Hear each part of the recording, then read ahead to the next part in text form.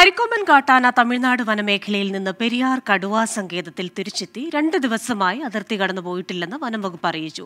മുല്ലക്കുടിയിലാണ് നിലവിൽ അരിക്കൊമ്പനുള്ളത്. ചിന്നക്കനാലിൽ നിന്ന് പിടികൂടി പെരിയാർ കടുവാ സങ്കേതത്തിലെ മേധഗാനത്ത് തുറന്നുവിട്ട അരിക്കൊമ്പൻ മൂന്ന് ദിവസം മുമ്പ് വരെ തമിഴ്നാട് വനമേഖലയിലായിരുന്നു. മേഘമലയിലും അതിനോട് ചേർന്നുള്ള ജനവാസ മേഖലയിലും ആഴ്ചകളോളം ചുറ്റിക്കറങ്ങി. ഇതിനുശേഷമാണ് പി ടി ആറിലേക്കുള്ള അരിക്കൊമ്പന്റെ മടങ്ങിവരവ്. ആനയെ പിടികൂടി ആദ്യം തുറന്നുവിടാൻ തീരുമാനിച്ച മുല്ലക്കുടി ഭാഗത്താണ് ഇപ്പോൾ അരിക്കൊമ്പനുള്ളത്. നിറയെ പുല്ലുകളുള്ള സ്ഥലമായതിനാൽ ആന ഇനി ഇവിടം വിട്ടു പോകില്ലെന്നാണ് കണക്കുകൂട്ടൽ.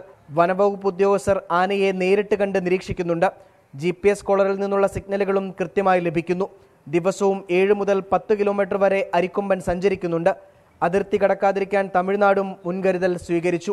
ട്വന്റി ഇടുക്കി.